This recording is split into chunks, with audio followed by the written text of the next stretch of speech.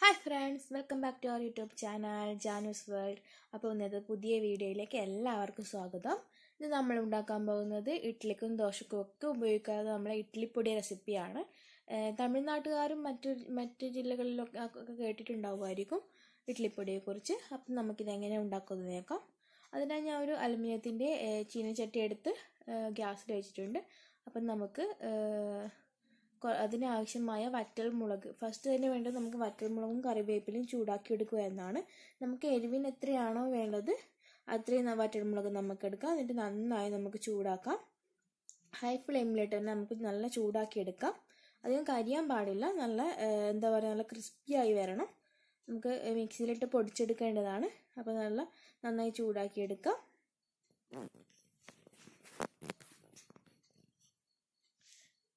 പിന്നെ നമുക്ക് ഇതിലേക്ക് വേണ്ടത് ഉഴുന്നും പിന്നെ കുറച്ച് അരി പിന്നെ കടലപ്പരിപ്പ് അതൊക്കെയാണ്.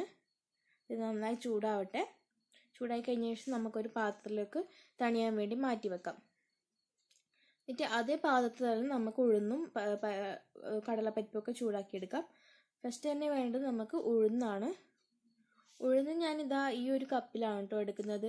One twenty one fifty M എല്ലിന്റെ കപ്പാണിത്. ഇതിലൊരു നാല് ആ നാല് നാല് കപ്പ് ഉഴുന്ന് മതിയാവുമായിരിക്കും.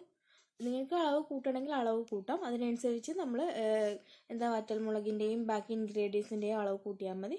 ഞാനിവിടെ ഒരു നാല് കപ്പ് എടുത്തിട്ടുണ്ട്. പിന്നെ ഞാൻ ആഡ് ചെയ്യുന്നത് ഇതാ പിന്നെ നമ്മുടെ മിക്സറിലൊക്കെ മിക്സറിലൊക്കെ ആഡ് ചെയ്യുന്ന പൊട്ടുകടലയില്ലേ? പൊട്ടുകടലയാണ്. അത് കുറച്ച് മാത്രമേ ആഡ് ചെയ്യുന്നുള്ളൂ. അത് എന്റെ കയ്യിൽ ഉള്ളത് കൊണ്ട് ഞാൻ ആഡ് ചെയ്തതാണ്. നിങ്ങളുടെ കയ്യിൽ ഇല്ലയെന്ന് വെച്ചാൽ നിങ്ങൾക്ക് ആഡ് ചെയ്യേണ്ട ആവശ്യമില്ല. പിന്നെ നമുക്കിതാ മെയിൻ ഇൻഗ്രീഡിയന്റ് ഇതാ കടലപ്പരിപ്പ്. നമ്മൾ പരിപ്പ് വടക്കൊക്കെ ഉപയോഗിക്കുന്ന കടലപ്പരിപ്പില്ലേ? അതാണ് അത് ഞാനിപ്പോൾ ഒരു ഒന്നര കപ്പ് എടുത്തിട്ടുണ്ട്. അതിന് നമുക്ക് നന്നായി ചൂടാക്കി എടുക്കാം അത്. പിന്നെ വേണ്ടത് നമുക്കൊരു ഒരു ടീസ്പൂൺ നമ്മുടെ എള്ളില്ലേ? ബ്ലാക്ക് എള്ള് അതാണ്. അപ്പോൾ എള്ളും കൂടി നമുക്ക് ചേർത്ത് നന്നായിട്ട് ചൂടാക്കിയെടുക്കാം.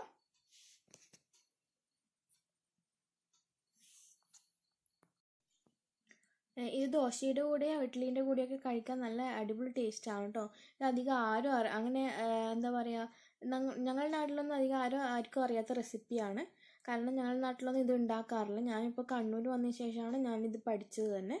പിന്നെ തമിഴ്നാട്ടിലൊക്കെ ഇത് ഫേമസ് ആണെന്ന് കേട്ടിട്ടുണ്ട്. പാലക്കാടും തമിഴ്നാട്ടിലൊക്കെ. അപ്പോൾ ഞാനിങ്ങനെയാണ് കേട്ടോ ചെയ്യുന്നത്. ഞാനിങ്ങനെയാണ് വീട്ടിൽ ഇഡ്ഡലിപ്പൊടി ഉണ്ടാക്കുന്നത്. പിന്നെ നന്നായി ചൂടായി വന്നിട്ടുണ്ട്. പിന്നെ നമുക്ക് ആഡ് ചെയ്യേണ്ടത് ഒരു കപ്പ് റൈസ് സാധാ പച്ചരി പച്ചരി കൂടി നമുക്ക് ആഡ് ചെയ്യണം. ഇതൊരു കപ്പ് റൈസ് എടുത്തിട്ടുണ്ട്. നമുക്ക് ഒരു കപ്പ് റൈസ് ആയിട്ട് അതിലേക്ക് ആഡ് ചെയ്യാം. എന്നിട്ട് നന്നായി ചൂടാക്കി എടുക്കാം കളറും ബ്രൗൺ കളർ ആവുമൊന്നും വേണ്ട. നന്നായി ചൂടായി വരികയേ വേണ്ടു. നമ്മൾക്ക് എന്താ പൊടിച്ചെടുക്കാൻ പാകത്തിന് നല്ല വറുത്ത് വരണം. അതിന് വേണ്ടിയിട്ടാണ് ചൂടാക്കി എടുക്കുന്നത്. അപ്പോൾ എല്ലാ പിന്നെ ഈ ഇൻഗ്രീഡിയൻസ് ഒന്നും കഴുകി ഉപയോഗിക്കണം കഴുകി വെക്കണം എന്നില്ല നമുക്ക് കഴുകിയാൽ തന്നെ പൊടിച്ചെടുക്കാൻ കുറച്ച് പ്രയാസമാണ്. പിന്നെ നന്നായി ചൂടാവുകയും വേണം. ഞാനിപ്പോൾ കഴുകാതെ തന്നെയാണ് ഇത് വറുത്തെടുക്കുന്നത്.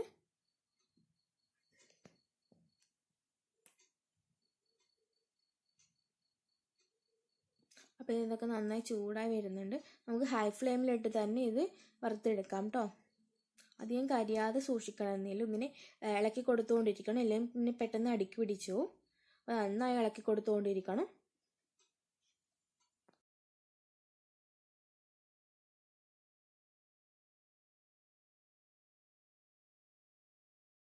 നല്ലോണം ചൂടായി വന്നിട്ടുണ്ട്. ഇനി നമുക്കത് ഇതുപോലെ പാത്രത്തിലോട്ട് തണിയാൻ വേണ്ടി മാറ്റി വെക്കാം.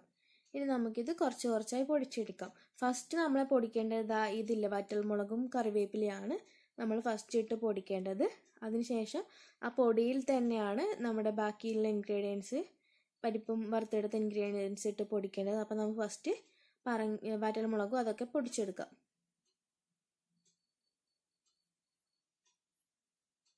ഇതാ അത് പൊടിച്ച് വന്നിട്ടുണ്ട്.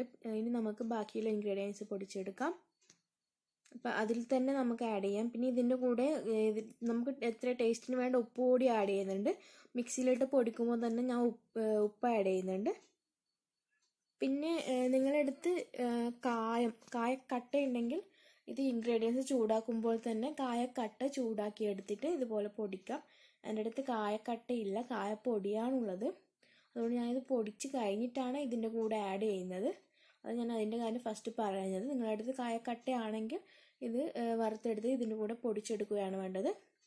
ഇതാ ഒരു ട്രിപ്പ് പൊടിച്ച് കഴിഞ്ഞ് നമുക്ക് അടുത്തതും കൂടി പൊടിച്ചെടുക്കാം. ഇത് ഫൈൻ പൗഡർ ആയിട്ടല്ല കുറച്ച് തരിതരിയോടാണ് പൊടിച്ചെടുക്കേണ്ടത് കണ്ടില്ലേ? നമുക്ക് ബാക്കിയുള്ള പൊടി ഇത് കൂടി ഇട്ട് ഇൻഗ്രീഡിയൻസ് കൂടി ഇട്ട് നമുക്ക് നന്നായി ഫൈൻ പൗഡർ ആവേണ്ട ആവശ്യമില്ല. തരിതരി തരി പോലെ പൊടിച്ചെടുക്കാം. അപ്പോൾ ഇത് ഞാൻ ബാക്കിയുള്ളത് കൂടി പൊടിച്ചെടുത്തിട്ടുണ്ട്. നമുക്കിത് നന്നായി മിക്സ് ചെയ്ത് കൊടുക്കാം.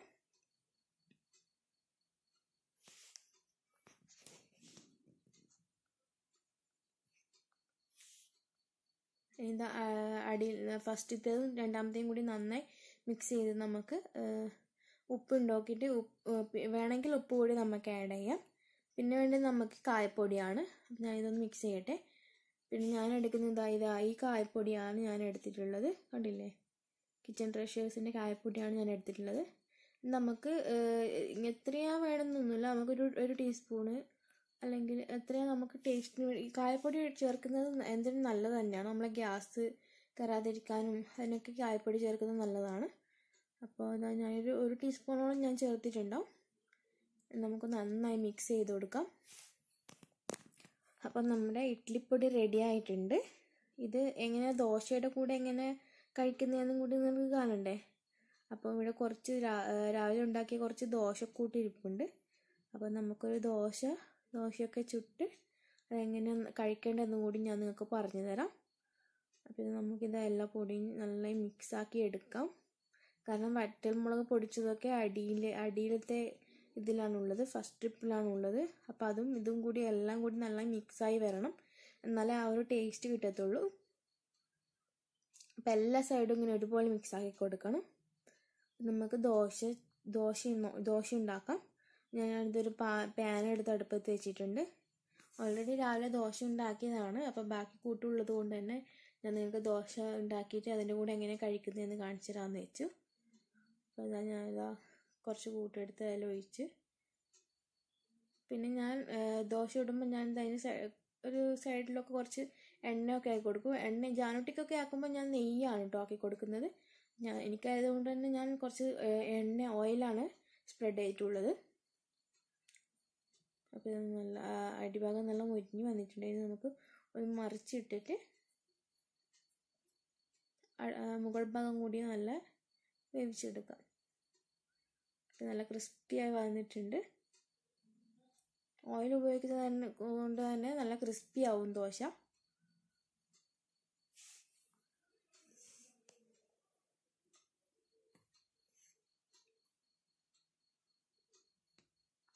പിന്നെ നമ്മൾ ദോശ റെഡി ആയിട്ടുണ്ട്. ഇനി നമുക്കത് പ്ലേറ്റിലേക്ക് മാറ്റാം.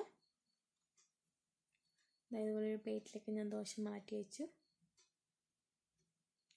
ഇനി ഇനി ഇഡ്ഡലിപ്പൊടിയും കൂട്ടി ദോശ എങ്ങനെ കഴിക്കുന്നത് ഞാൻ പറഞ്ഞുതരാം.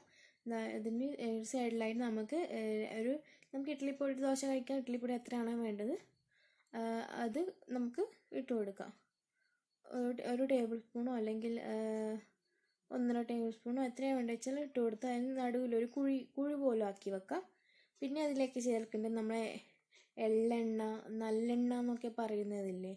അതാണ് കേട്ടോ അത് നമുക്ക് ആ കുഴിയിലേക്ക് കുറച്ച് കുറച്ചായി ഇങ്ങനെ ഒഴിച്ചു കൊടുക്കാം.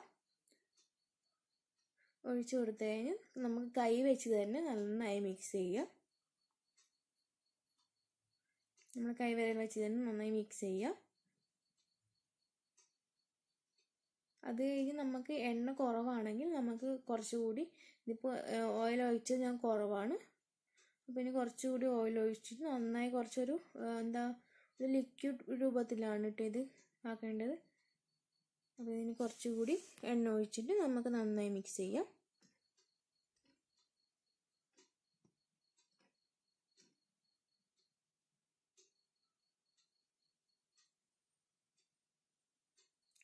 അപ്പോൾ നമ്മുടെ ഇഡ്ഡലിപ്പൊടി കഴിക്കേണ്ട പരുവത്തിനായി. എങ്ങനെ കഴിക്കുന്നത് കൂടി ഞാൻ നിങ്ങൾക്ക് കാണിച്ചത് ഒരു കഷ്ണം ദോശ ഇങ്ങനെ പൊട്ടിച്ചെടുത്ത് ഇതാന് ഇഡ്ഡലിപ്പൊടി മുക്കി ഇതാ ആയിട്ട് കഴിക്കുന്നത്. അപ്പോൾ എല്ലാവരും ഇഡ്ഡലിപ്പൊടി റെസിപ്പി ഒന്ന് ട്രൈ ചെയ്ത് നോക്കുക